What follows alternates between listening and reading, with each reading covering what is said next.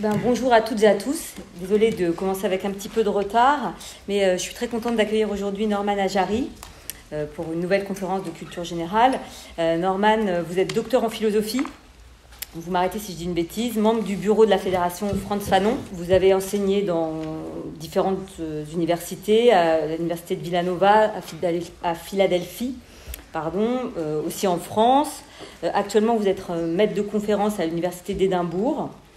Et euh, dernièrement, vous avez publié deux, euh, deux ouvrages importants. Euh, dans l'ordre chronologique, La dignité ou la mort, éthique politique de la race, à la découverte en 2019. Et puis cette année, aux éditions Divergence, Noirceur, race, genre, classe et pessimisme dans la, dans la pensée africaine-américaine au XXe siècle. Et puis aujourd'hui, vous m'avez proposé un thème tout fait intéressant qui est euh, l'appropriation culturelle. Donc, euh, penser l'appropriation culturelle, euh, voilà. Je... Merci beaucoup d'être venu, d'avoir franchi le périphérique, franchi même la Manche, et, et donc d'être à Sergi aujourd'hui pour vous adresser aux étudiants et aux étudiants. Ben merci. Merci à vous pour l'invitation. Merci à toutes les personnes qui sont, qui sont présentes dans, dans la salle, qui ont pris la peine de, de venir. Euh, c'est une, une, c'est une conférence. Euh, je sais que normalement, c'est plutôt un, comment dire, un lieu où on vient pour parler des choses qu'on a déjà beaucoup travaillé, beaucoup labouré, pour, euh, comment dire, divulguer un petit peu le résultat de ces recherches aux, auditeurs. Mais là, c'est un travail, disons, plutôt expérimental, même s'il n'y a rien de de transcendant. Hein, je dis pas que ça casse trois pattes à un canard, mais c'est une réflexion en cours sur cette question de l'appropriation culturelle, parce que c'est une question qui fait beaucoup de débat, et donc euh, j'avais envie de, vous proposer euh, une, réflexion que, finalement j'ai terminé, euh, terminé il y a dix minutes, en fait, assez littéralement. assez littéralement dans l'RER, j'étais encore avec mon ordinateur, comme ça, en train, d'écrire quelques phrases. Donc, bon, on va... Advienne que pourra. Les dés sont jetés. Point de départ, c'est une sorte de diagnostic du fait qu'au sein de l'université française, certains domaines euh, ont placé le mépris de, l'objet de recherche comme une sorte de préalable à l'idée qu'on fait un travail de qualité. Et je pense qu'il en va ainsi, notamment des réflexions qui concernent les questions raciales, les questions décoloniales, c'est-à-dire les questions qui, qui m'intéressent, mais au sein même de ce périmètre, de euh, ces questions, de ces interrogations, euh, certains concepts semblent plus indéfendables que d'autres. Euh, des concepts comme suprématie blanche, des concepts comme non-mixité raciale, comme pouvoir noir, sont des concepts qui sont particulièrement tenus pour... qui sentent le soufre, disons. Mais étonnamment, malgré des allures, disons, nettement moins menaçantes, pour notre idéal national de citoyenneté, le concept d'appropriation culturelle fait partie de cela. Euh, si le, souci de préserver euh, euh, l'image de marque de certaines entreprises pousse certaines industries comme celle de la mode, celle de la musique populaire à se questionner sur les accusations d'appropriation culturelle dont elles font régulièrement l'objet dans les médias, les milieux intellectuels, les milieux artistiques, semble plus rétif, plus réticent à prendre ce concept euh, d'appropriation culturelle au sérieux. Et même des interventions qui sont explicitement conçues pour clarifier les termes du débat et pour dissiper les controverses euh, ne me semblent pas prendre cette tâche très à cœur. Je prends pour exemple un chapitre très récent que l'anthropologue Monique Jeudi Baliani euh, Balini consacre à l'appropriation culturelle dans euh, un ouvrage collectif qui s'intitule Les mots qui fâchent, et qui est un volume qui ambitionne disons, de désamorcer les querelles sémantiques et les invectives qui encombrent euh, le débat public, notamment en ce qui concerne les sujets qui viennent d'être évoqués, le sujet des coloniaux, raciaux, mais aussi féministes, enfin, toutes ces questions extrêmement polémiques dans l'université actuelle. Euh, or, ce texte donc, de Monique Jeudi Balini euh, pose plusieurs problèmes à mes yeux. Tout d'abord, il attribue l'origine de la notion d'appropriation culturelle à, dit-elle, la littérature académique anglo-saxonne du début des années 1990. Or, comme nous allons bientôt le voir, c'est l'un des objets de, de cette conférence, c'est une assertion inexacte. Ça date pas du début des années 1990, c'est plus ancien que ça. Et ensuite, euh, ce texte donc de, euh, jeudi euh, Balini consacre l'essentiel de ses efforts à une explication du caractère multiple, contradictoire, impur qui caractériserait toute culture. Et cette extrême labilité rendrait la culture intrinsèquement inappropriable puisqu'elle n'aurait jamais rien en propre. Hein. Sans propre, pas d'appropriation.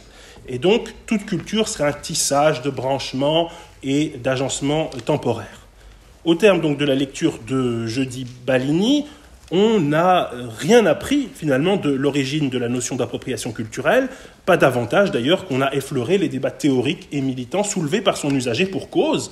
Le chapitre consacre euh, tous ses efforts à redéfinir l'appropriation culturelle comme un pur et simple non-sens, comme une coxigrue, comme une revendication sans objet.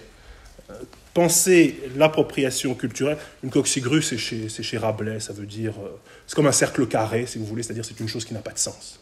C'est un, animal absurde, donc quand on dit une coxigrue, c'est quelque chose qui n'a pas de sens. Euh, parce que je vois qu'il y a des gens qui disent coxigrue, c'est bizarre.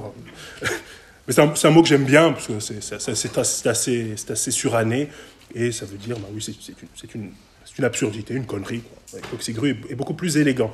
Euh, donc penser l'appropriation culturelle dans ce cadre-là équivaudrait presque à imaginer un, cercle carré. Ça reviendrait, euh, ça leur relèverait de l'absurdité pure et simple. Mais euh, pire encore, car si l'appropriation culturelle est définie comme une contradiction dans les termes, les groupes militants qui s'estiment légitimes à protéger leur culture contre de tels phénomènes ne peuvent être définis que comme nuisibles, comme inconséquents et comme coupables euh, d'errements éthiques dangereux.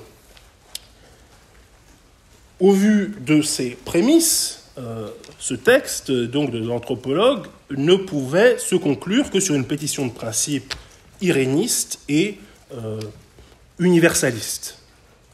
Contre le danger, je, je la cite, contre le danger de clivage qui fractionne toujours plus l'humanité, ghettoise les minorités et fabrique des entre-soi, l'enjeu devrait être surtout de lutter pour empêcher que s'érigent un peu partout des murs opposant des camps à d'autres.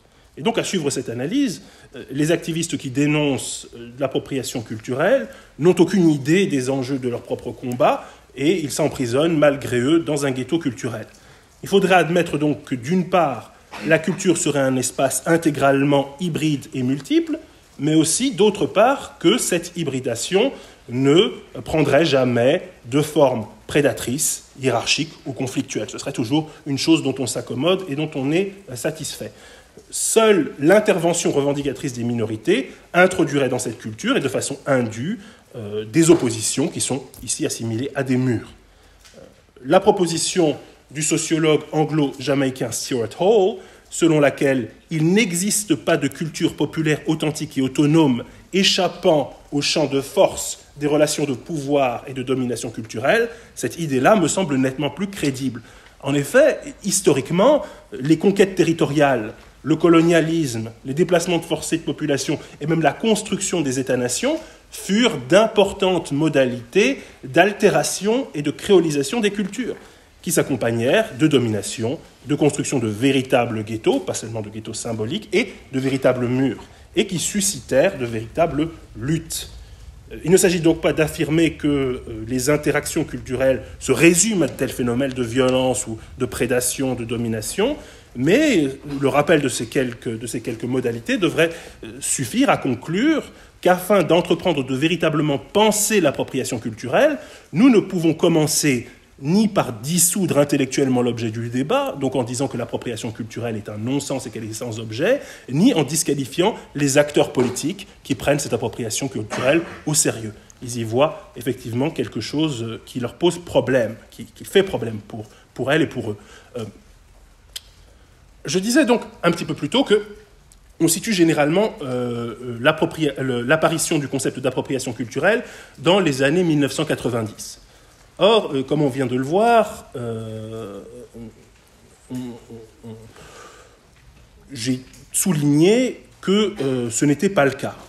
donc, années 90, c'est ce que Jeudi Balini disait. Pour sa part, l'anthropologue brésilien Rodney William fait crédit à l'anthropologue allemand Hartmut Lutz, qui est un spécialiste des peuples autochtones du Canada, d'avoir créé ce concept. Mais en réalité, la première occurrence significative de la formule appropriation culturelle précède toutes ces estimations d'une quinzaine d'années.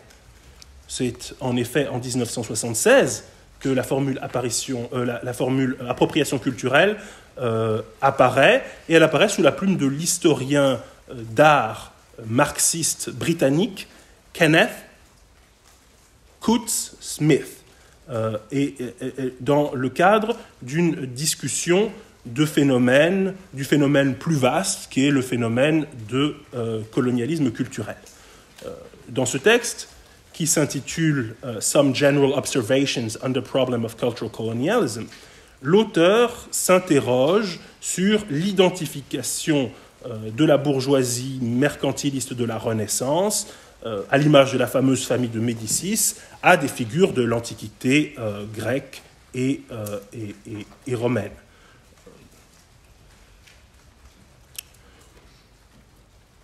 Cette revendication d'une histoire, c'est euh, Smith qui, écrit, cette revendication d'une histoire a entamé un processus de mystification culturelle dont nous continuons à souffrir. Et comme nous le percevons désormais, l'expansion continuelle s'appuyait sur un processus d'appropriation culturelle. Voilà, c'est la première apparition de cette euh, expression. Et donc, euh, aux yeux de Smith, l'appropriation culturelle équivaut à l'accaparement de la culture au profit des classes régnantes. Euh, c'est une écriture de l'histoire et une interprétation des arts qui vise à légitimer la position des tenants actuels du pouvoir. Euh, et donc, en l'espèce, la bourgeoisie émergente de la Renaissance. Ces moments complexes, donc vastes et contradictoires de l'histoire humaine, qui sont ceux de l'Antiquité, ont été réifiés et simplifiés pour servir un récit élaboré par les élites économiques et politiques. En somme, elles disent que les Grecs étaient déjà comme eux, que les Romains étaient déjà comme eux, et qu'eux ne continuent, se, contentent finalement de euh, reproduire cette histoire et sont la continuité exacte de cette histoire. Ça a toujours été comme ça, et ça a toujours été très bien comme ça. Euh, contrairement à de nombreuses représentations communes euh, de ces activités créatrices, les beaux-arts, selon Kootsmith, euh, seraient moins un lieu de créativité et de résistance à l'ordre du monde qu'un lieu d'expression privilégiée du pouvoir. L'appropriation culturelle est l'un des outils de ce pouvoir au sein des domaines de l'art. On représente picturalement dans les tableaux euh, le passé à l'image de ce que sont aujourd'hui les tenants du pouvoir pour montrer que euh, toujours ça a, eu la même légitimité, qu'il y a une espèce de continuité entre le passé et le présent, que c'est finalement une espèce d'ordre naturel davantage qu'un ordre historique qui change et se transforme. Et donc, selon l'interprétation de Kootsmith, euh, l'entreprise de conquête coloniale du XIXe siècle, qui est contemporaine du romantisme littéraire, se caractérise, je le cite, par la tentative consciente de s'approprier et d'incorporer au sein de la culture européenne toute la diversité des cultures, non seulement du monde entier, mais encore de l'histoire. L'Europe va s'approprier, euh, va, se légitimer comme possédant ou ayant accès à l'ensemble des cultures du monde et l'ensemble des cultures du passé à la fois. Euh, la reproductibilité technique, c'est-à-dire la photographie, le cinéma, euh, mais aussi la mise au musée des œuvres et des artefacts de tous les continents, sont des symptômes de cet embourgeoisement massif de la sphère culturelle qui se produit alors selon Smith. Et pour lui, c'est un processus, c'est un moment historique où l'ensemble de la culture connue est appréhendé en termes d'égalité institutionnelle neutre et négative, dissociée de sa fonction, c'est très important, dissociée de sa fonction, dissociée de son sens, dissociée de son usage humain, dissociée de toute forme de dimension sociale. Autrement dit, euh, cette conjonction historique du, capitalisme et du colonialisme détache les biens culturels des pratiques sociales dont ils proviennent et des besoins auxquels ils répondent et des horizons de sens dans lesquels ils s'inscrivent.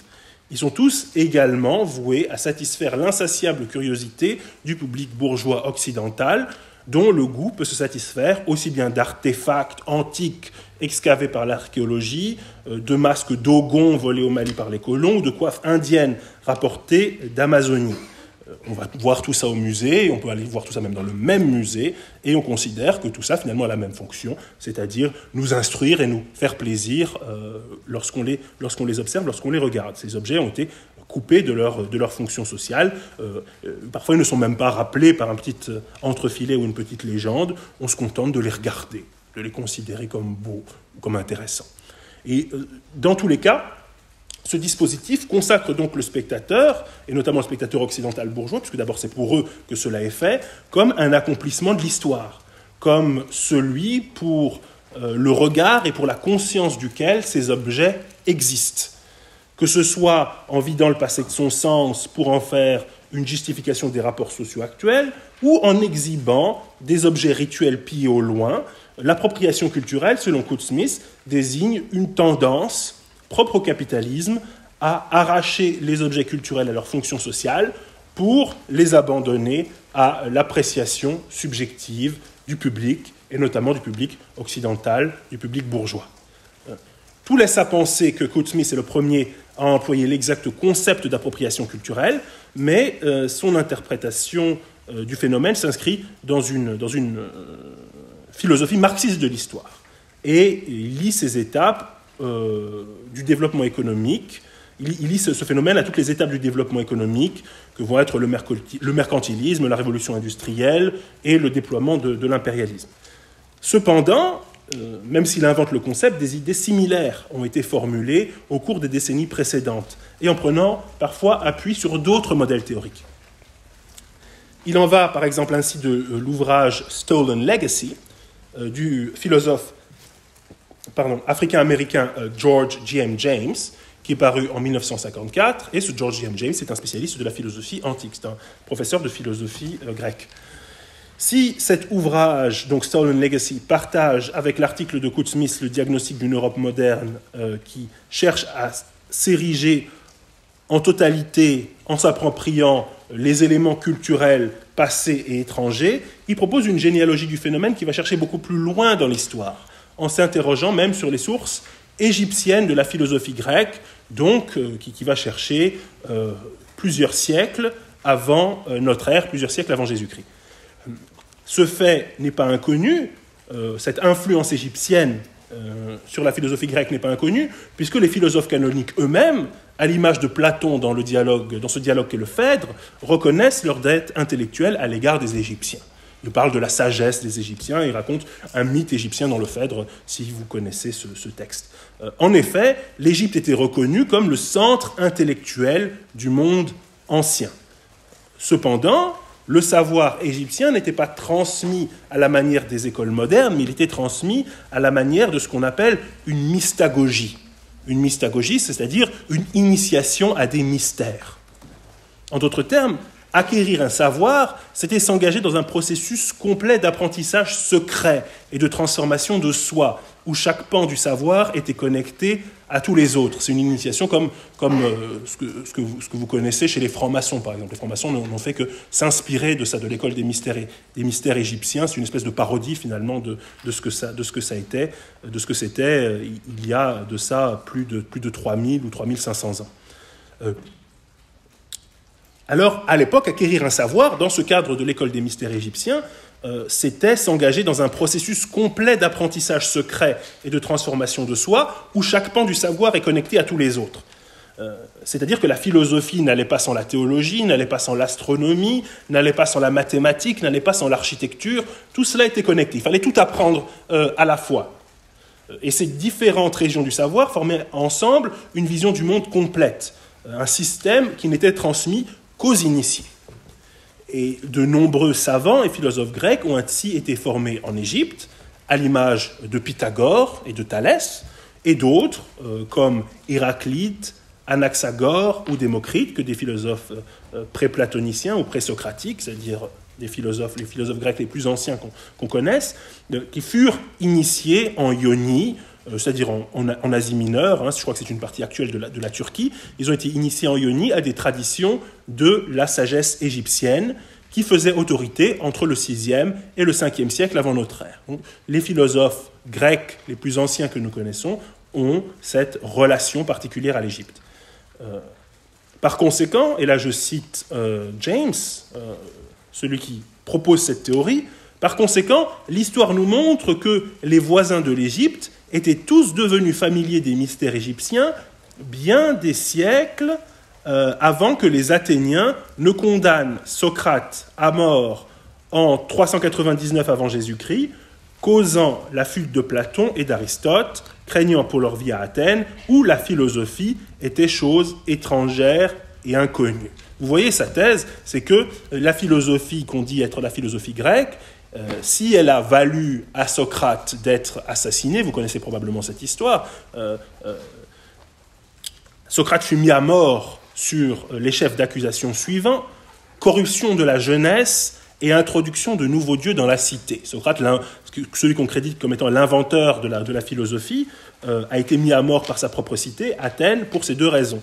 introduire des faux dieux et corrompre la jeunesse.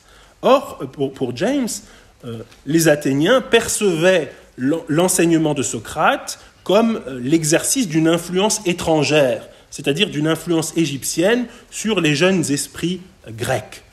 Euh, mais nous sommes encore ici dans le domaine des transferts et des influences culturelles et non dans le domaine de l'appropriation culturelle. Mais là, on, va y venir à la manière dont James considère l'appropriation culturelle. Parce que le basculement se situe au moment de la conquête de l'Égypte par Alexandre le Grand au IVe siècle avant notre ère. Au-delà d'une simple prise de possession militaire et politique, Alexandre entendait prendre possession de ce pourquoi l'Égypte était renommée dans tout le monde méditerranéen, je viens d'en parler, c'est son enseignement des sciences et son enseignement de la philosophie. L'Égypte a été accaparée et annexée à l'empire d'Alexandre, mais le plan d'invasion impliquait davantage que l'expansion territoriale, car il rendait possible la capture de la culture du continent africain, explique James. Une telle entreprise n'était pas totalement originale, puisque lors des invasions, les armées antiques avaient coutume de piller les bibliothèques et les temples afin de prendre possession des livres et des manuscrits, lesquels étaient considérés comme de grands trésors. Mais, explique James, Alexandre, Alexandre le Grand a systématisé l'entreprise en mode son ancien précepteur, le célèbre philosophe Aristote, qui était le précepteur d'Alexandre le Grand durant sa jeunesse, euh, pour garantir l'appropriation et l'enseignement de ce savoir au profit des Grecs, afin de faire du monde grec le nouvel épicentre de la culture et du savoir. Les philosophes ne s'étonnent plus de trouver dans les œuvres complètes d'Aristote des traités consacrés à la physique, à la métaphysique, à la politique, à la météorologie, au théâtre, aussi bien qu'à la rhétorique, il y en aurait encore d'autres, euh, comme si un seul penseur avait pu, par la seule force de son génie, acquérir de première main le matériau d'une œuvre aussi polyvalente. En réalité, tous ces écrits qui sont tirés de l'enseignement d'Aristote se sont largement nourris des ouvrages égyptiens qu'il euh, aurait absorbés, synthétisés et insérés auprès de son, à l'intérieur de son propre système de pensée. Le résultat de cette entreprise, ça n'a pas seulement été euh, la construction florissante des grandes écoles de philosophie grecque que nous connaissons et que nous admirons, mais aussi l'effacement de l'Égypte, puis du continent africain, des rangs des espaces producteurs de connaissances. Toutes ces sources-là euh, n'ont pas seulement été absorbées par Aristote, elles ont aussi été euh, quasiment effacées de l'histoire à part dans les quelques traces que j'ai mentionnées, c'est-à-dire l'hommage rendu euh, ça et là par euh, Platon ou euh, par d'autres. À travers les siècles, explique James, les peuples noirs ont été soumis à une politique de mépris qui explique que le grand récit du miracle grec, qui a fait d'Athènes le berceau de la pensée européenne, n'ait pas davantage été contesté à l'époque moderne. En 1920, dans un essai intitulé Dark Water, le célèbre sociologue africain-américain W.E.B. Du Bois expliquait que l'Europe s'était construite dans la digestion et l'oubli de ses propres fondations, c'est-à-dire les civilisations africaines et asiatiques qu'elle allait euh, après entreprendre de coloniser. Finalement, et de manière euh, peut-être inattendue, les analyses proposées par euh, le marxiste Kenneth Cosmith et l'afrocentriste George James convergent en plusieurs points décisifs.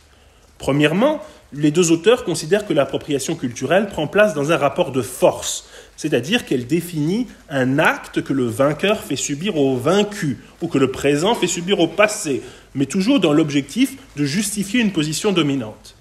Euh, la classe, la nation, le groupe dominant est celui qui s'arroge un accès indiscriminé à n'importe quelle production culturelle de l'histoire et peut les assujettir à ses propres besoins. Ensuite, Ils décrivent tous deux la façon dont l'appropriation culturelle commence par détacher les éléments culturels de l'univers social au sein duquel ils faisaient sens.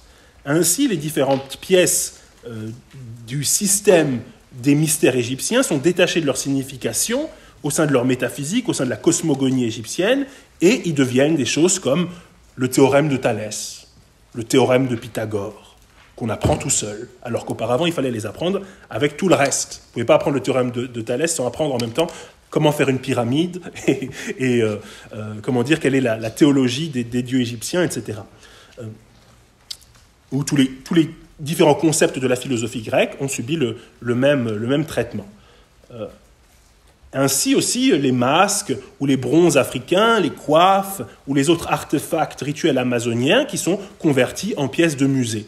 Ces éléments culturels deviennent des objets dont une civilisation supérieure, euh, militairement et économiquement, peut euh, s'enorgueillir euh, et qu'elle peut contempler. Le refus des musées occidentaux de restituer les artefacts dérobés durant la colonisation de l'Afrique, au prétexte de leur préservation, euh, au prétexte que leur préservation ne serait pas garantie dans les pays du tiers-monde, euh, c'est une idée éloquente quant à la dissolution de leur fonction première, la dissolution de la fonction première qu'ont subi ces objets. Euh, ils ne sont désormais plus envisageables autrement que comme des pièces de musée, et on ne tolère plus qu'ils puissent participer d'un autre système de valeurs ou de signification qui ne conserverait pas leur préservation comme un bien intrinsèque. Ils ont été fixés dans cette euh, forme de valeur qui est euh, cette valeur euh, de pièce muséale. Pour autant, l'appropriation culturelle ne se présente jamais ainsi, elle se présente jamais comme telle. Aux yeux du groupe accusé d'appropriation, il n'y a jamais eu d'appropriation parce qu'il n'y a jamais eu d'extériorité. L'appropriation culturelle est présentée comme absurde ou comme impossible. En fait, cela, c'est la conséquence d'une vision du monde où toutes les pratiques culturelles, toutes les œuvres sont librement offertes à n'importe quel usage.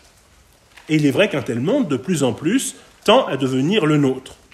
Mais Coates Smith indique que tel n'a pas toujours été le cas et que notre propension à tenir euh, l'usage originel d'un objet ou d'une pratique pour insignifiant et à juger notre satisfaction esthétique ou nos propres désirs comme plus légitimes que l'histoire sont propres à une vision du monde intrinsèque au capitalisme, euh, produit de la civilisation européenne. Le célèbre intellectuel français euh, Roland Barthes avait assimilé cette tournure d'esprit à un humanisme bourgeois dont la caractéristique est de relativiser les différences au profit d'un universalisme qui dissimule les conflits sociaux, les hiérarchies raciales et les rapports de force. Je cite Roland Barthes, euh, ce mythe de la condition humaine repose sur une très vieille mystification qui consiste toujours à placer la nature au fond de l'histoire.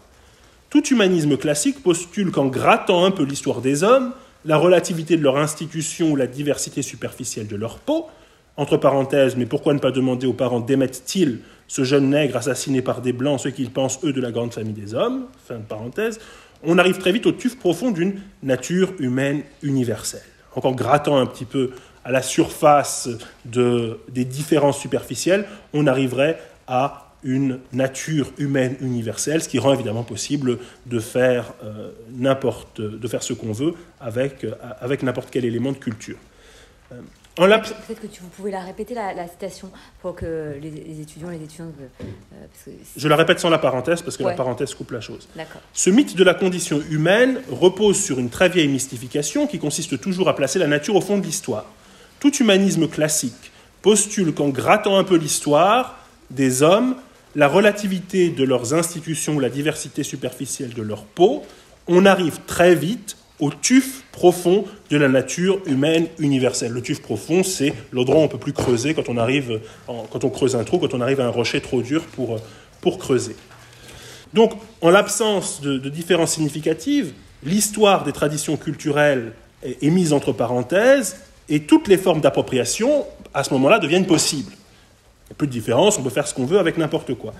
Et les notions contemporaines d'hybridité culturelle, de multiplicité, de pluralité interne à, toute culture euh, sont certaines euh, traductions contemporaines possibles de ce règne de l'indifférenciation et de la transaction.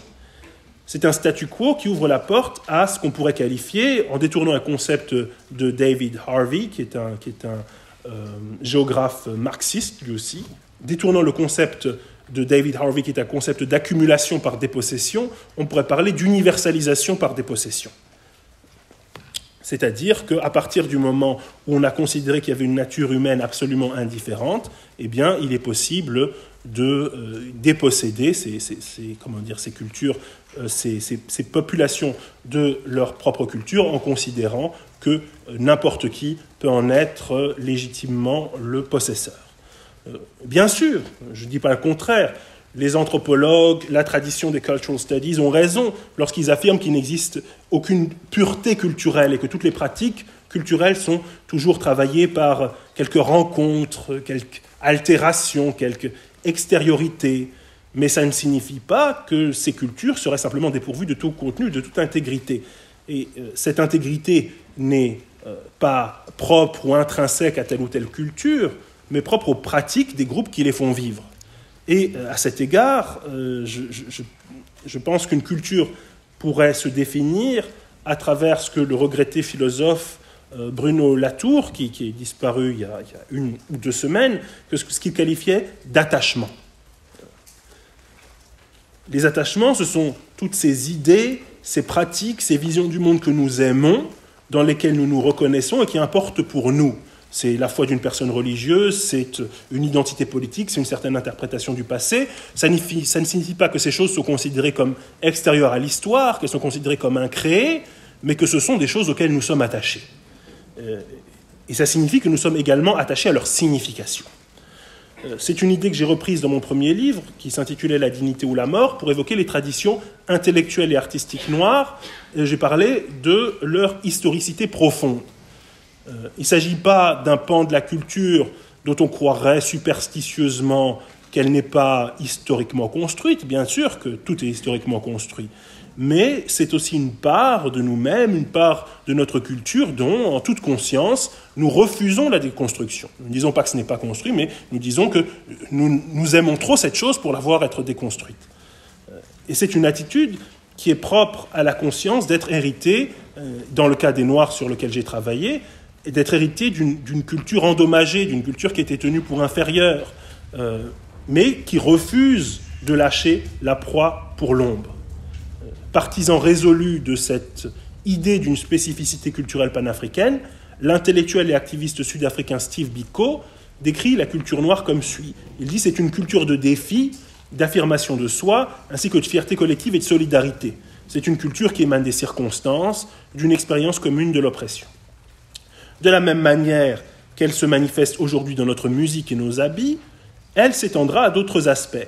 C'est la nouvelle culture noire moderne à laquelle nous avons grandement contribué. Voilà, c'est pas un truc qui date de l'époque précoloniale, c'est pas un truc qui date de l'éternité qui a toujours été comme ça. C'est la culture noire moderne, elle date, euh, elle est, propre à certaines, à certaines conditions, à certaines conditions historiques, et ici aux conditions historiques de l'apartheid, du, colonialisme.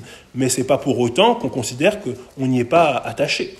Euh, selon l'anthropologue haïtien Jean Price Mars, le folklore, folklore qu'il écrit avec un tiret entre folk et l'or, puisque c'est un terme saxon ancien qui signifie euh, le savoir du peuple. Le lore, c'est le savoir du peuple, comme les, enfin, les, gens qui, aiment les jeux vidéo ou les trucs comme ça savent que le lore, c'est l'histoire profonde d'un univers imaginaire, mais ça peut être aussi l'histoire profonde d'un univers qui n'est pas nécessairement très imaginaire. Euh, et le folk, eh ben, c'est le peuple. C'est en allemand, c'est en, en, anglais, ce sont des mots assez, assez fréquents. Euh, donc le folklore, c'est-à-dire le savoir du peuple, est constitué d'un fond de tradition orale, de légendes, de contes, de chansons, de devinettes, de coutumes, d'observations, de cérémonies, de croyances qui lui sont propres, et que la société s'est assimilée de façon à leur donner son empreinte personnelle. Et ces formes de culture, pour Bicot comme pour Price Mars, ne sont pas figées. Il s'agit d'une création collective permanente qui prend tout son sens dans cet être collectif. Sa raison d'être est précisément de mettre ces individus, qui dans le cas africain, d'Afrique du Sud, dans le cas haïtien, sont des individus dépréciés qui ont besoin de cette médiation pour être mis en présence les uns des autres, pour avoir un langage commun. Et malgré les points saillants que j'ai révélés précédemment entre l'analyse marxiste et l'analyse afrocentriste, euh, la perspective noire apporte cependant une nuance au concept d'appropriation culturelle que Coates Smith élabore euh, à partir de l'accaparement de la culture antique par les élites de la Renaissance. En effet, dans l'expérience noire, l'appropriation culturelle s'est souvent doublée du dédain des groupes dont la culture est appropriée. Euh, le désir pour tel élément culturel noir coexiste avec une déshumanisation, une dégradation des Noirs en tant que groupe. Euh, c'est pourquoi l'anthropologue brésilien Rodney Williams résume les choses en ces termes. L'appropriation culturelle reflète une structure raciste qui empêche l'accès et la visibilité des groupes infériorisés, encourage la mise sous silence ou l'effacement de leurs manifestations culturelles, en dévalorisant et en vidant le sens des éléments importants de leur tradition, et enfin, plus gravement encore, compromet l'existence et la vie des groupes sociaux minoritaires. Bon, c'est une définition très ramassée, mais je n'ai je, pas vraiment le temps de la discuter. Je la, comment dire, je, la livre et maintenant je vais m'acheminer vers, vers ma conclusion. Euh, et en revenant au texte par lequel j'avais commencé, le texte que j'avais critiqué, celui de Monique Jeudi euh, Balini, euh, dans lequel elle écrit également la chose suivante. Dans ces termes, l'expression appropriation culturelle assimile une culture à une propriété dont les membres détiendraient des droits exclusifs sur des éléments refusés en libre accès aux étrangers. Et je crois que ce faisant, en disant ça, elle commet une erreur d'analyse qui est une erreur conceptuelle. C'est-à-dire qu'elle prête erronément, ce qu'on fait souvent, aux critiques de l'appropriation culturelle, la, velléité de transformer les cultures en propriétés. Euh, or, c'est précisément l'entrée des éléments culturels dans les champs de la transaction, de l'accumulation ou de la consommation qui les change en propriété. En d'autres termes, c'est le libre accès que revendique jeudi Balini, puisqu'elle dit que euh, les, critiques de l'appropriation culturelle refusent le libre accès aux éléments culturels, c'est cette idée de libre accès même qui a transformé ces éléments culturels en biens appropriables. Ce n'est pas leur usage au sein d'une culture particulière qui l'a fait. Euh, pour le dire autrement, on pourrait recourir au langage de l'économie numérique, dans laquelle il existe la distinction entre d'une part les biens rivaux et de l'autre les biens non rivaux. Les biens rivaux, ce sont des biens qui ne peuvent pas être possédés simultanément par un grand nombre d'usagers. Et par conséquent, dont on doit se priver pour pouvoir les vendre sur le marché. Par exemple, euh, il me serait impossible de vous vendre mon ordinateur euh, et de le conserver. Euh, si vous me vendez votre voiture, par définition, elle ne sera plus la vôtre. Au contraire, des biens non rivaux peuvent être détenus simultanément par une infinité d'usagers. Nous pouvons tous regarder simultanément le même film sur Netflix ou le même film sur HBO Max. C'est un bien non rival. Euh, un coach en développement personnel peut vous vendre son livre sous forme de, fichier PDF, il peut le vendre à une infinité de clients sans jamais être en rupture de stock. Le, PDF se duplique. Et, c'est, comment dire, il en va ainsi du partage des connaissances depuis l'invention du langage en réalité. L'enseignant ne se prive pas de son propre savoir en le partageant, mais au contraire, il le démultiplie. Et on pourrait dire que l'appropriation culturelle consiste fondamentalement à transformer des biens non rivaux, euh, des biens non rivaux que les cultures traditionnelles ne définissent de toute façon pas comme des marchandises, en biens rivaux, c'est-à-dire en produits profitables dont les véritables créateurs sont exclus des bénéfices. Et à cet égard, je crois que l'usage de l'expression d'appropriation culturelle pour définir un certain nombre de choses, par exemple, pour définir, c'est l'exemple qu'on prend le plus souvent, une personne blanche qui s'affublerait de, dreadlocks ou d'autres éléments ethniques, euh, c'est euh, un usage abusif. Euh, je pense que c'est certainement maladroit ou de mauvais goût de faire ça, de porter des dreadlocks quand on, quand on est blanc, mais enfin, ça ne prive personne de la jouissance de sa propre culture. Euh, Ce n'est pas une, appropriation au sens, strict. Pour, pour qu'il y ait appropriation, il faut priver quelqu'un de quelque chose. En, en, revanche, les usages commerciaux de parties musicales, de tissus, de motifs par les industries culturelles et l'industrie de la mode tendent, je pense, à entrer dans cette, dans cette catégorie, puisqu'elles impliquent euh, euh, une forme de profit et elles impliquent un produit qui va être considéré comme un produit de créateur. Euh, en général, euh, cette question d'appropriation culturelle, je pense, euh, soulève de, nombreuses questions intéressantes, qui sont des questions sur le pouvoir, sur le marché, sur les limites du pouvoir et les limites du, marché.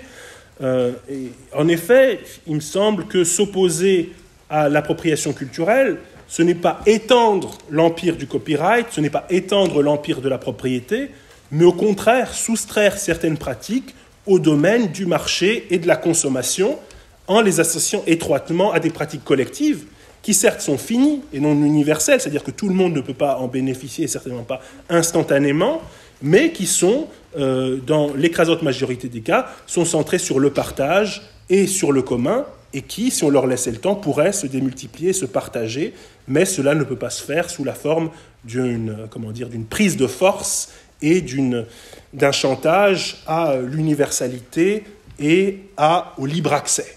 Ce sont pas des choses, ce sont des choses qui sont en accès, mais qui ne sont pas en libre accès, qui exigent une relation euh, de type humain, une relation de type, euh, comment dire, euh, affectif. Et donc, pour utiliser enfin cette, cette, formule de Latour en guise d'hommage, qui exige une forme d'attachement. Voilà. et j'en terminerai là-dessus. Et je vous remercie pour votre attention et votre écoute.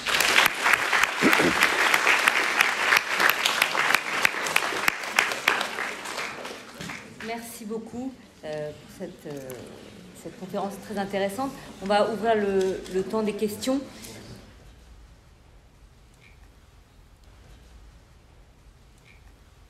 Il y a, disons, plusieurs générations de, de, philosophes grecs euh, qui se sont initiés à ces mystères égyptiens, mais que le basculement, c'est. Et donc voilà, ce sont des philosophes présocratiques qui sont, qui sont encore, encore bien connus aujourd'hui, mais que le basculement se situe au moment où il y a eu une militarisation de ce rapport et où Alexandre euh, conquiert euh, l'Égypte, il va fonder d'ailleurs Alexandrie, hein, la, ville qui existe encore aujourd'hui sous le terme d'Alexandrie, c'est juste son nom, c'est Alexandre le Grand qui l'a fait. Euh, et effectivement, il, y a, comme le faisaient souvent les armées à l'époque, un pillage des, bibliothèques, enfin de la bibliothèque royale d'Alexandrie, qui n'est pas encore la, la grande bibliothèque d'Alexandrie, la merveille du monde qu'Alexandre, enfin, que les successeurs d'Alexandre fonderont. Euh, d'ailleurs, c'est flou un petit peu la fondation de, cet édifice. Mais en tout cas, la bibliothèque royale, il la, il la, il la, il la pille, enfin, il la, il s'en approprie, les manuscrits, les temples où les mystères égyptiens étaient enseignés également subissent, ce traitement, et il décide de, euh, passer outre, de passer outre la manière dont cet enseignement-là a été transmis, euh, et au contraire, il décide de faire sienne de cette, ce, stock de connaissances et qu'il décide que cela pourra participer du lustre de son règne et du, et du pouvoir des Grecs. Euh, il, avait bien raison. Et c'est bien ça, c'est ça la différence entre, entre une appropriation et eh ben, un rapport civil de, comment dire, d'échange et d'interaction, d'interaction culturelle ou, ou scientifique ou intellectuelle. Euh, est différent de, de, piller une, bibliothèque et d'en amener les manuscrits chez soi que eh bien, de s'installer dans une salle de cours ou de discuter euh, d'égal à égal avec, euh, avec les enseignants et avec les, avec les étudiants. c'est bien, bien ce qui s'est passé. Il ne s'agit pas, comment dire, il pas de, de, faire particulièrement un jugement moral sur cette, sur cette histoire que, comment dire, Alexandre a mal fait, c'est la guerre, c'est la conquête, c'est l'ordre de l'histoire, mais ça permet de, définir ce que c'est que l'appropriation culturelle et, pourquoi est-ce que l'appropriation culturelle mérite son propre concept et que ce n'est pas juste, comme on le dit parfois, euh, une, autre manière de parler d'échange, d'interaction culturelle, que toutes les, que toutes les, que les, comment dire, que toutes les cultures se, interagissent les unes avec les autres. Là, ici, on a un très clair exemple de cette, de cette différence. Euh, Thalès n'a pas, n'a pas été volé le théorème les armes à la main.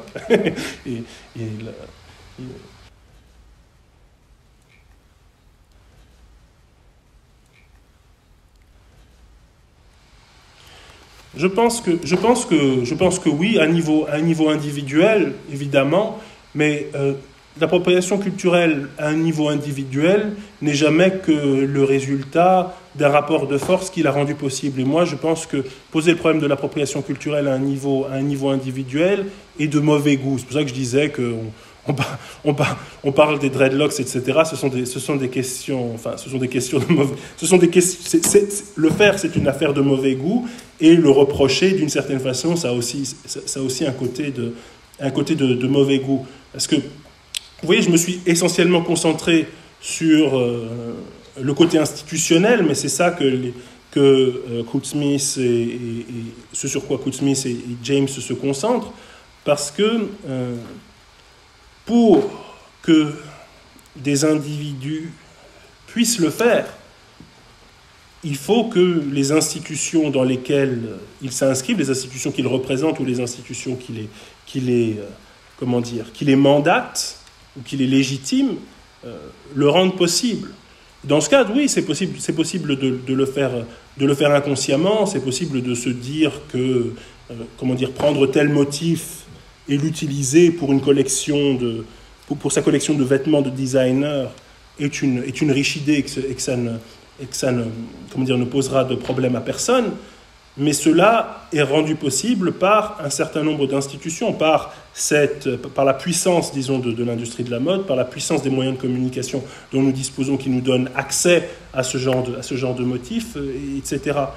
Et donc je pense que le, problème, euh, comment dire, évidemment, ça exige une certaine, une certaine prise de conscience de, chaque, de chaque personne, mais c'est avant tout, euh, comment dire, le problème du de la soif de nouveauté qui est propre à la société de consommation d'une part, et euh, aussi euh, au, manque de tact qui l'accompagne. Euh, le fait de considérer par, par défaut que tout élément culturel est appropriable, qu'on est dans une situation de, fluidité où tout le monde finalement aurait le même rapport à telle chose, à tel objet. Certaines personnes ont un rapport d'indifférence qui finalement est notre rapport euh, par défaut à n'importe, quel objet, à n'importe quel élément. un, rapport différent, un rapport plus intense euh, et plus, comment dire, plus affectif, ça se, crée, ça se fabrique et ça s'entretient. Évidemment, par défaut, on n'a pas ce, rapport. Mais euh, je pense que mener l'enquête, commencer par mener l'enquête sur son propre travail, puisque ce sont des cas d'appropriation culturelle, on est dans le domaine de la culture, on est dans le domaine de l'art, ce sont des personnes qui prétendent utiliser ou mobiliser des éléments dans le cadre de travaux artistiques ou dans le cadre de projets entrepreneuriaux, bref, dans le cadre de choses qui pour elles est important, de choses, d'œuvres qu'elles-mêmes voudraient faire. Et dans ce cadre-là, nécessairement, euh, la construction d'un savoir de son propre objet, de ce qu'on fait soi-même, euh, devrait, être, devrait être nécessaire. Je pense que c'est une méthode que parfois, euh, comment dire, que certaines, que certaines personnes oublient. Euh,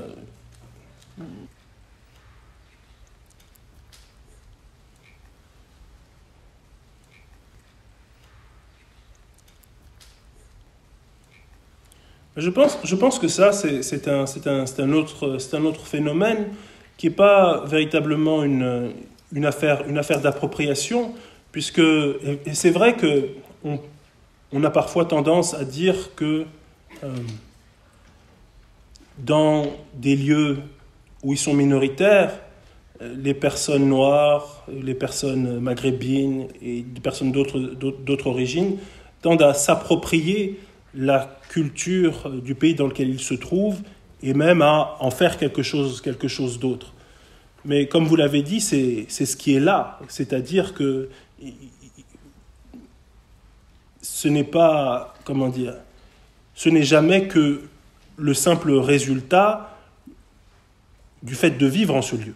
Euh, ça n'a exigé aucun effort, ça n'a exigé aucun, type de hum, pillage de qui que ce soit, euh, ça n'exige que le fait d'approfondir la connaissance du propre lieu dans lequel on est.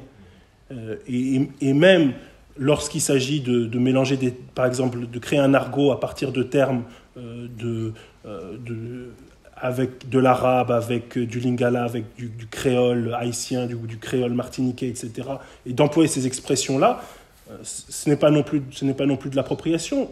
Tout ça naît de, véritables attachements et du véritable fait de côtoyer des lieux où ces termes-là font sens et où ces termes-là nous amusent et nous, et nous importent. Donc je ne pense pas qu'on puisse parler véritablement de, véritablement d'appropriation dans, dans, ce cadre-là. Je pense qu'il n'y a pas de...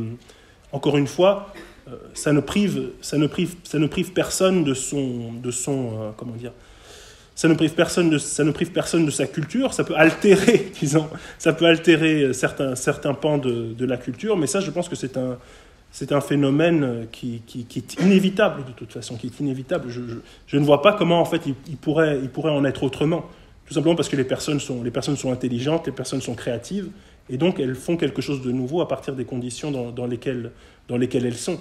Si, si cela n'existait pas, euh, eh bien, euh, ce serait une, une destruction de, de l'esprit et de l'imagination.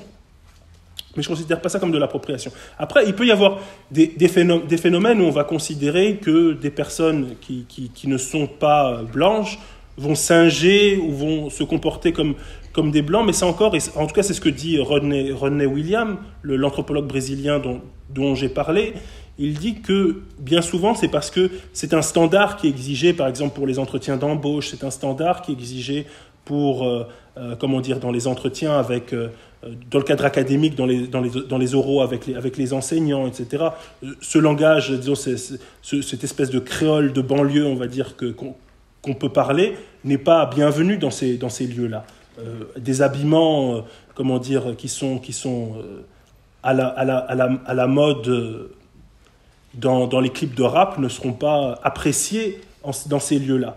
Il y a donc une contrainte à adopter ces, ce, ce, type de comportement, ce type d'habillement, ce type de mode de vêtements, ce type de, de coiffure, euh, qui fait que euh, ce n'est pas une appropriation qui est faite pour déposséder les Blancs, pour déposséder la culture française de ses caractéristiques, mais simplement parce que c'est le standard qui est considéré comme le plus convenable et que donc, même si ce n'est pas la culture de nos ancêtres, eh bien, que puisque nous sommes ici et puisque nous aspirons à faire partie de la société, que nous n'avons d'autre choix que, de nous y conformer.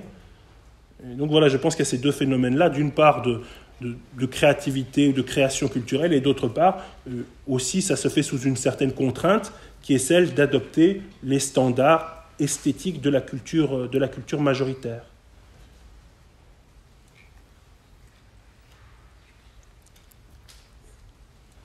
Oui, je crois, je pense que ça fait partie, de, ça fait partie à la fois d'un processus de réparation et d'un processus, disons, de, de lutte contre cette appropriation, cette appropriation culturelle.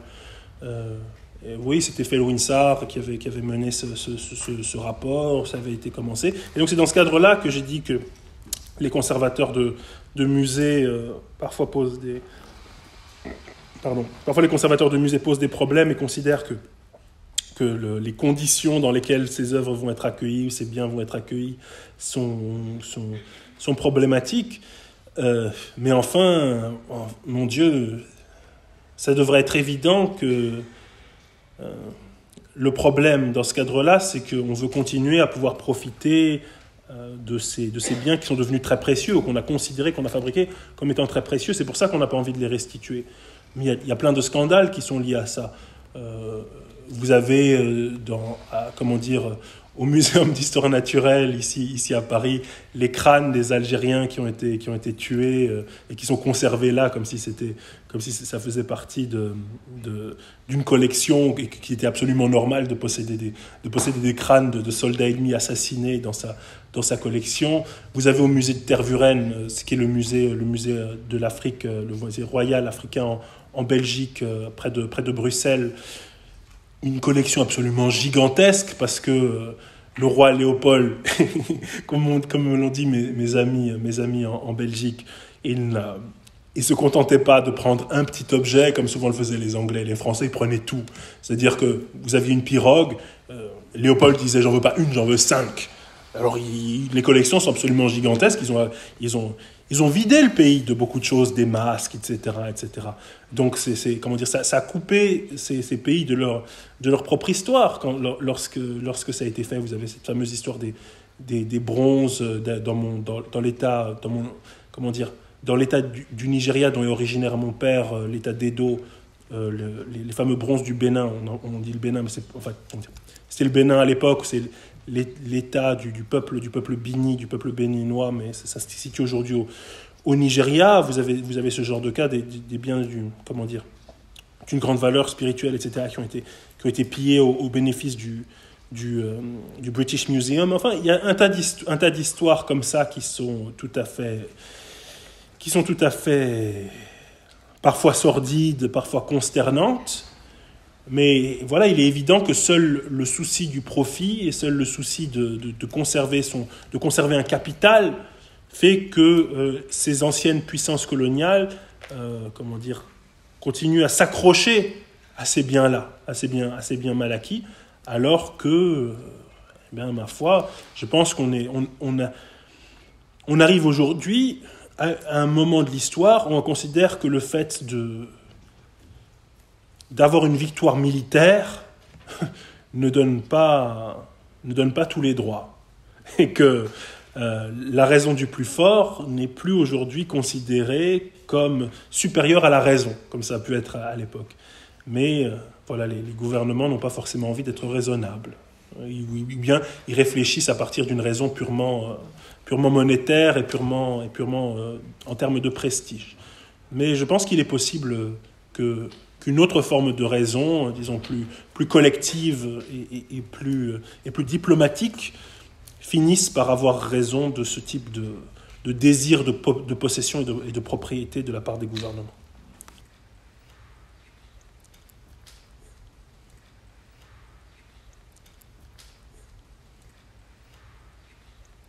Il est difficile, je pense, dans un contexte qui est le contexte d'une domination coloniale, de, de considérer ce consentement comme le consentement euh, d'une puissance souveraine.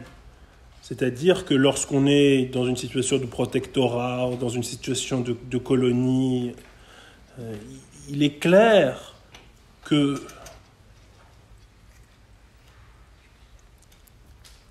la diplomatie ne se fait pas entre deux forces égales. Et le fait que, comment dire, les Britanniques arrachent un tel consentement n'est jamais, jamais très surprenant. Et c'est, comment dire, c'est la loi même de l'extractivisme. L'extraction des ressources minérales partout, sur, en Afrique aujourd'hui, du, nord au sud et de l'est à l'ouest, est faite avec l'assentiment de chefs d'État, souvent en échange de certains avantages, enfin en tout cas ce sont des, contrats commerciaux qui sont avantageux pour un petit nombre de personnes de chaque côté, mais qui sont désavantageux pour l'intérêt général de ces pays.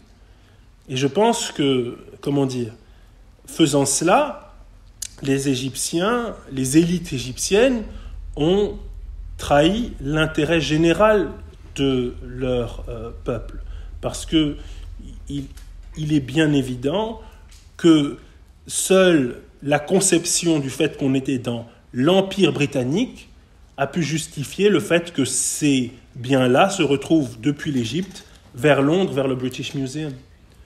Et l'idée que ces, objets-là seraient plus à leur place au cœur de l'Empire que dans un pays qui a sa périphérie comme l'Égypte. Vous, voyez, vous voyez ce que je veux dire Donc je pense que, euh, on, voilà, on, parle, on parle parfois aujourd'hui de consentement éclairé. eh bien, je pense que c'est un cas où le consentement n'était pas éclairé et où les, comment dire, les moyens n'étaient pas réunis pour qu'il soit, pour qu'il soit, pour qu'il soit complètement, complètement libre et en pleine, en pleine possession de, de soi-même. Euh, il y avait des contraintes extérieures qu'il qu faut bien avoir en tête, je crois.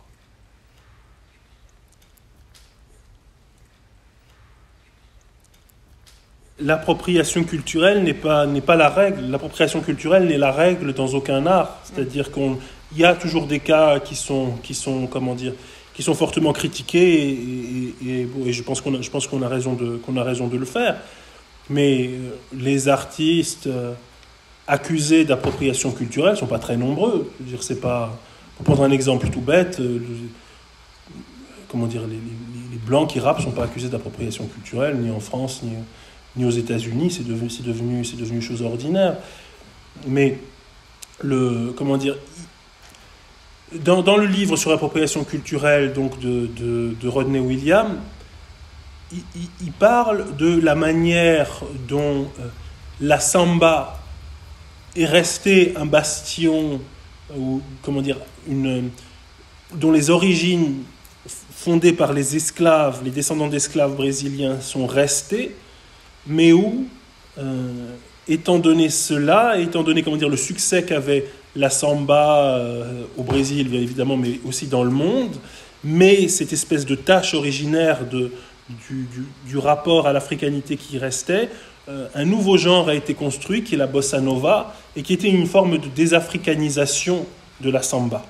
Et que c'était ça qui était devenu une sorte de produit, de produit, de produit commercial, et euh, qui, selon lui, était, voilà, une non seulement une dénaturation, mais surtout un affadissement finalement de, la, de, de, de ce, de ce qu'avait été, la, de ce qu'avait été la, la samba.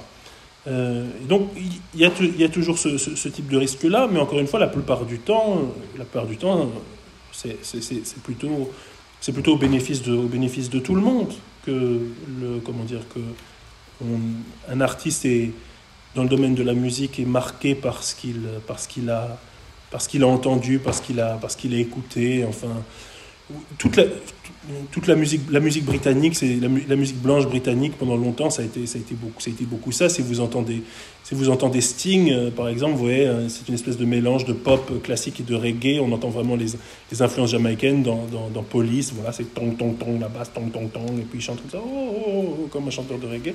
Bon, voilà, c'est ton l'influence. Moi, j'aime bien, Sting. je veux veux pas dire que c'est de l'appropriation culturelle. On écoute ça avec une espèce de voilà, avec une espèce de, de tendresse aussi de le voir essayer d'imiter des chanteurs, des chanteurs jamaïcains. Mais je, je, je, pense que dans tous les cas, euh, il y a toujours des personnes qui vont, qui, vont critiquer ça, évidemment, mais je pense que dans tous les cas, tout ça peut, peut se faire euh, de façon, euh, ma foi, en bonne intelligence et en reconnaissant le, la part d'investissement, de, génie, de, travail qu'un qu qu artiste a mis et, comment il a été transformé par sa rencontre avec une autre musique, une autre tradition, une autre, une autre culture. Et je pense que c'est tout le monde, enfin tout le monde, une très grande, une très grande majorité de personnes, d'artistes, etc., sont, sont capables de, de, voir ça. Ils font très bien la différence entre un, un artiste qui s'est pris de passion pour, euh, pour, une, pour, un, pour un genre musical, pour une tradition culturelle ou intellectuelle, et d'autre part, quelqu'un qui est un opportuniste et qui, a décidé de se faire un billet sans beaucoup, sans beaucoup, euh, sans beaucoup investir même sa propre passion, quelqu'un qui, qui, est quelqu'un qui a qui est calculateur. Évidemment, on ne peut pas vraiment trouver de, comment dire, de, critères, de critères objectifs, mais il n'y a pas de critères objectifs dans les domaines de l'art, de la création, de, de la culture. Ce sont des affaires de, de sensibilité. Comme je disais encore une fois, ces affaires d'appropriation culturelle ne sont pas très nombreuses. Euh, la plupart du temps, on, profite de, ce que les artistes nous donnent et on n'est pas vexé par ça, on n'est pas choqué, blessé par ça.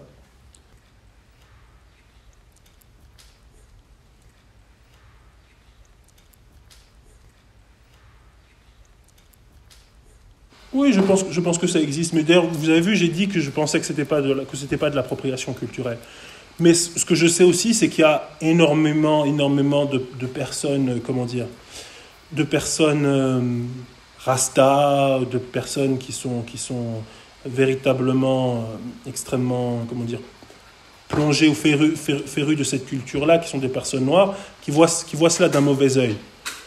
Et donc, tout, tout, ce que je dis, c'est que c'est une chose à prendre en compte. C'est-à-dire que si vous êtes une personne, une personne, une personne blanche qui euh, voulait porter des dreadlocks et que vous le faites en revendiquant cette, cette appréciation culturelle, comme, vous le dites, eh ben, il faut être prêt à avoir des discussions parfois même un petit peu mouvementées avec les rastas qui, vous disent oh, qu'est-ce que tu fais là? Et il va falloir, il va falloir discuter, discuter avec ces personnes-là et, et accepter de, ne, pas se, ne pas se vexer dans ce, dans, ce cas-là, puisque, comment dire, cette, euh, cet investissement particulier spirituel des dreadlocks fait partie de la culture rasta. Donc si vous avez vraiment l'appréciation culturelle, vous devez aussi, pas forcément apprécier, mais au moins comprendre le fait que d'autres personnes voient ça d'un mauvais œil et accepter, d'entrer dans le dialogue plutôt que dans la, concurrence et, la victimisation dans ce cadre-là. Vous voyez ce que je veux dire? Ça veut dire que si, vous voulez vous plonger dans une culture et, vous comment dire, apprécier une culture dont les, les membres sont habitués à...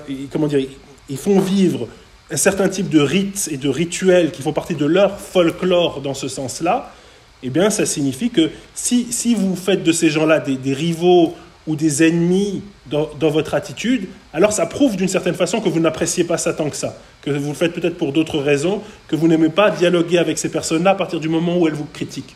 Et ça, je pense que ça, je pense que c'est un problème. Encore une fois, je pense que c'est pas une, c'est pas de l'appropriation culturelle à proprement parler, mais les personnes qui voient ça d'un mauvais œil, qui trouvent ça, qui trouvent ça une mauvaise chose, parce que ça ne participe pas de, comment dire, de la vision qui se font de l'histoire de leur propre spiritualité, de leur propre culture musicale, il faut être prêt à discuter avec eux et essayer, de, les, de les convaincre si on a vraiment la passion pour cette culture et pour cette, et pour cette tradition-là, je pense. Donc ça fait, ça fait partie du, du, package, quoi. On ne peut pas juste se contenter d'apprécier ces choses-là superficiellement. Il faut montrer que, que voilà, qu'on est, qu'on est, euh, qu'on, est, qu'on est investi là-dedans. Et, c'est finalement, ça, ça, rend cette chose-là, si, si, on, si, si, on, arrive, enfin, ça rend, ça, rend cette chose-là que plus, que plus méritoire au final, possiblement.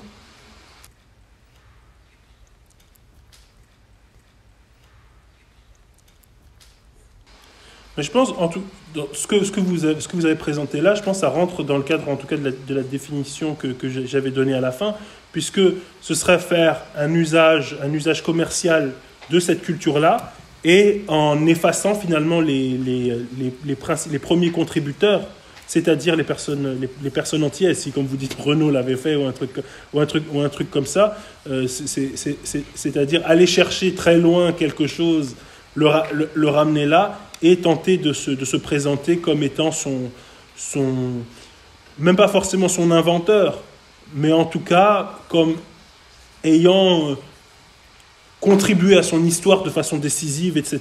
Parce que c'est le premier à faire ça, c'est la première personne qu'on voit, euh, comment dire, en France faire, faire, faire, de telles choses, etc. Vous voyez ce que je veux, vous voyez ce que je veux dire? Donc je pense que ça rentre, ça,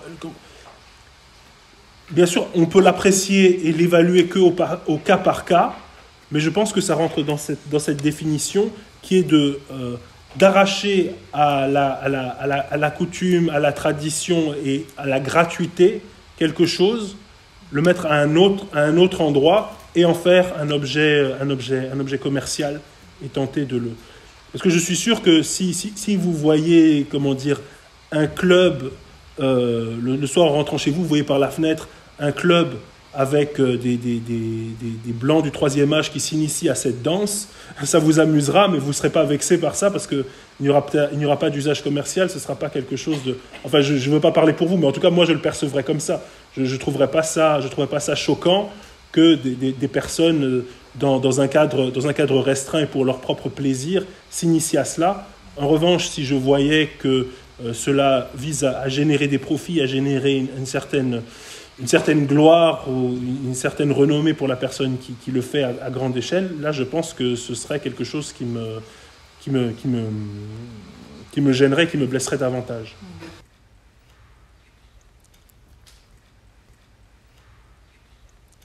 Oui, oui, je, moi je, je, suis, je suis fort, je suis fort d'accord avec ça. Je pense que, comment dire, l'éducation, l'éducation nationale n'est pas, comment dire, ne nous prépare, ne, nous prépare pas à avoir euh, une, sensibilité culturelle euh, extrêmement extrêmement ouverte et extrême, extrêmement, extrêmement subtile. Je pense que c'est plutôt, plutôt, plutôt l'inverse, puisque c'est toujours, le, toujours le même problème. Il y a le, à la fois un enseignement qui est souvent fondé sur un grand provincialisme euh, et un provincialisme qui, se présente comme la seule comme, comme l'universel, enfin, comme, la, seule, comme, la, seule, la, seule forme de civilisation et de civilité possible.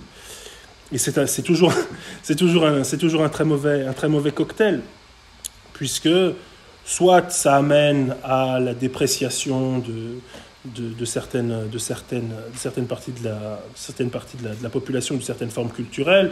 J'en parlais encore hier soir avec avec mon, avec mon, mon ami Mehdi qui m'a accompagné aujourd'hui, de la manière dont euh, pouvaient être, euh, comment dire, perçus avec suspicion ou avec mépris les parents qui euh, parlent l'arabe à leurs enfants dans, dans le cadre de l'école en les, en les, amenant alors que c'est leur, que leur, langue, c'est leur langue maternelle.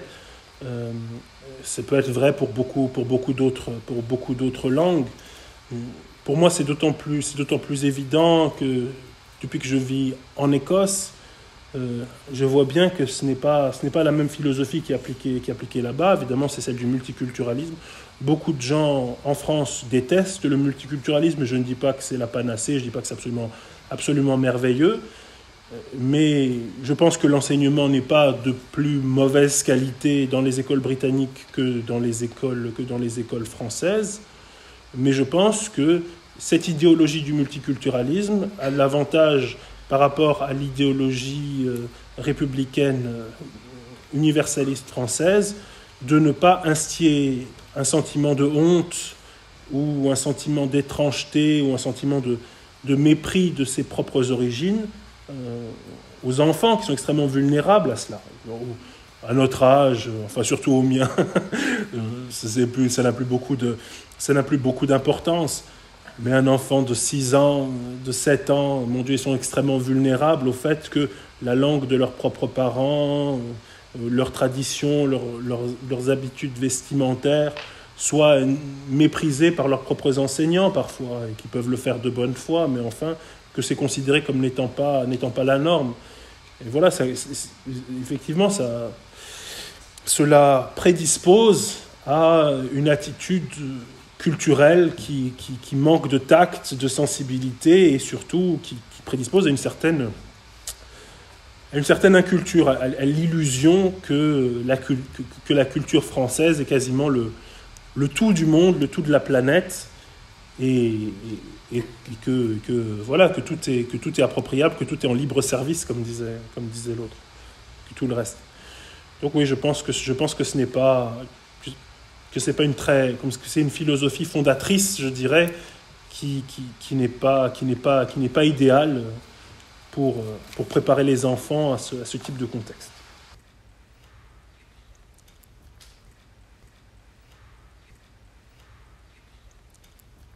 En Écosse, la seule langue qui est enseignée, à part quelques endroits où on enseigne en, gaélique, mais on n'enseigne que l'anglais. Mais c'est une, il y a, comment dire, il y a une différence entre simplement avoir une, avoir une langue d'enseignement et considérer que, il est une, que c'est une bonne chose que les parents, ou une bonne chose, ou en tout cas un fait, et éventuellement, effectivement, euh, le placer sous un signe, sous un signe plutôt positif, que les parents viennent euh, et des cultures soient originaires de pays euh, de pays différents pour les enfants. Je dis, c'est pour, tout ça, tout ça, c'est dans, l'objectif de, l'objectif de, comment dire, d'éviter que, les, que les enfants développent des, des, phobies scolaires ou des situations, des situations où ils se, où ils se sentent, où ils se sentent, comment dire, mal accueillis à l'école. Mais des remarques, euh, des remontrances à l'égard des, à l'égard des parents, l'idée que il faudrait essayer à la maison de ne pas leur parler leur langue maternelle, mais davantage de les parler en français, ce qu'entendent certains, ce qu'entendent certains parents. Ça, c'est un problème parce qu'en plus, c'est faux. Ce n'est pas vrai que euh, on est, qu'on est meilleur à l'école parce qu'à la maison, on parle, on parle une langue, une langue, une langue, une, langue qui n'est pas la même que l'anglais ou pas la même que le français. C'est pas vrai. Évidemment, c'est facile à, moi, à, moi pour le dire parce que le français c'est une langue qui est appréciée partout dans le monde, etc.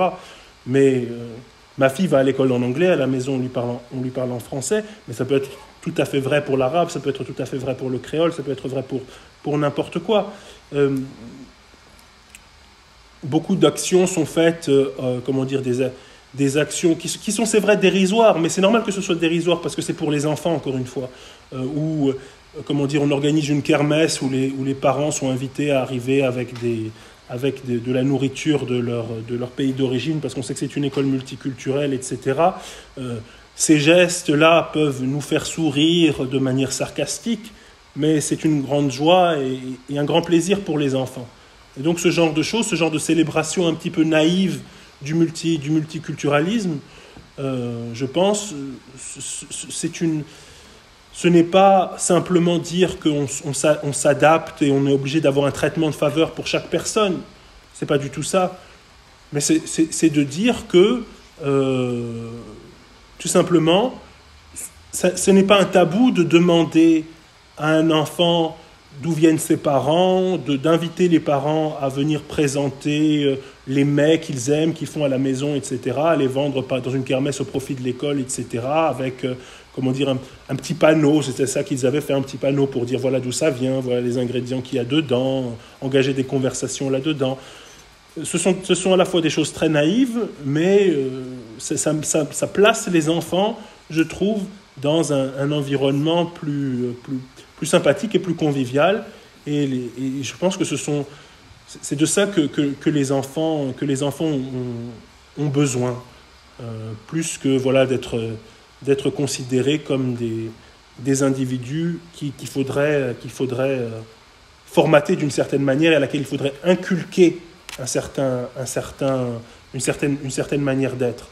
Je pense que inculquer la raison, le savoir, la connaissance, euh, c'est bien plus précieux et bien plus euh, efficace pour réformer un comportement que d'informer, que, que, de, comment dire, que, que d'endoctriner un, style, une manière d'être, à, une culture. Vous voyez ce que je veux dire? C'est la raison, la réflexion, la connaissance.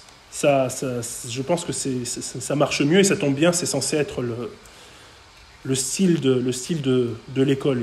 Et, et ce, ce, petit, ce, cette fine couche de multiculturalisme, disons, permet en plus d'apprendre deux, trois trucs sur différents pays, sur différents plats et tout. C'est, c'est ludique. Je pense que ça ne fait de mal à personne surtout. Ça fait de mal à personne et ça fait plaisir aux, ça fait plaisir aux kids.